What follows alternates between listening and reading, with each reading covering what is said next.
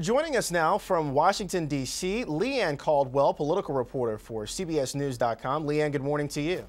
Good morning, Terrell. We just heard in the piece there that the president over the weekend had a conversation with House Speaker John Boehner and Senate Majority Leader Harry Reid over the weekend. Do, do we know what was talked about or discussed in that meeting? And, and is this the first of many? This will be uh, the first of many, for sure. We don't know exactly what was spoken about at that meeting, uh, but we, what we do know is that staff of both uh, Senate Majority Leader Harry Reid, House Speaker John Boehner, and President Obama uh, spent a good part of last week uh, meeting. Even though lawmakers were out of town, President Obama took some days off for the Thanksgiving holiday. And even though the top uh, decision makers, these principals, are not meeting on a daily basis, their staffs are continuing to work. And uh, the big guns will come in when necessary and they'll continue to talk because they're the ones who are ultimately going to decide what's okay and what's not. We saw this a lot over the, the Sunday political talk shows, this idea of compromise now coming from Republicans and many notable ones going on the airwaves now and saying compromise is key. Is that having any impact on Capitol Hill? What will we see now? Well, the rhetoric has definitely changed since before the elections, that's for sure. And talk of compromise is always a good sign. But uh, as always in Washington, the devil is in the details. And the two sides are still very far apart.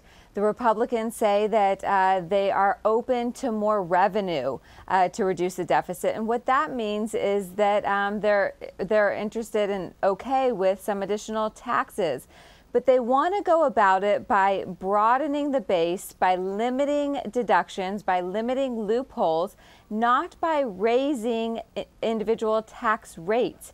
And President Obama and many Democrats say that's not acceptable. Uh, come the new year, they want uh, the current tax rates for the middle class to continue, but they want the tax rates for the wealthy to increase by uh, 4% bringing their tax rate to over 39%. And so there's still a lot of room to maneuver and a lot of uh, details to figure out. And Republicans want Democrats to consider some reforms on entitlement programs when it comes to Social Security.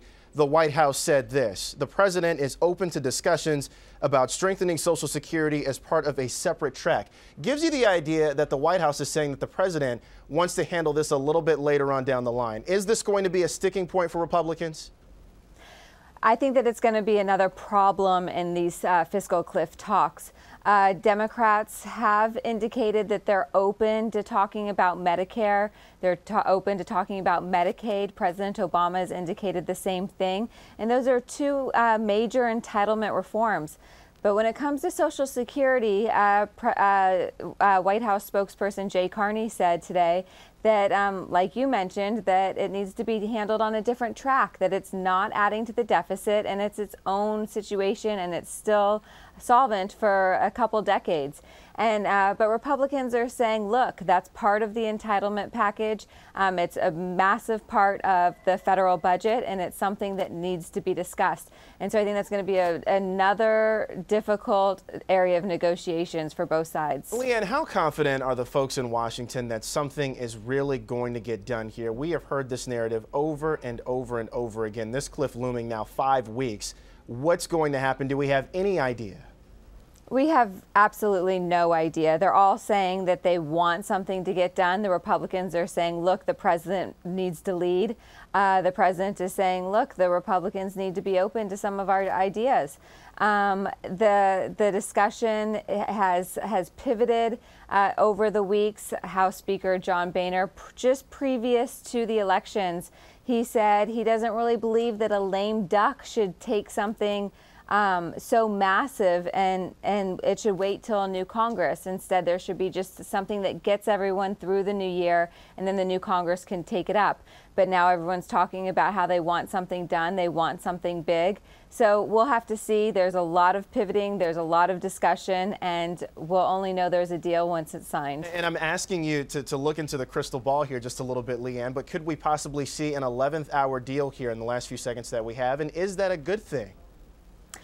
I think if we do see a last minute deal, I think that it's going to be not a comprehensive reform package, but it's going to be some sort of plan uh, to, care, to for how they're going to carry it out in the next Congress. And um, that that's better than nothing. Leigh Ann Caldwell, political reporter for CBSNews.com on the show this morning. Leigh Ann, thank you so much. Thank you, Terrell.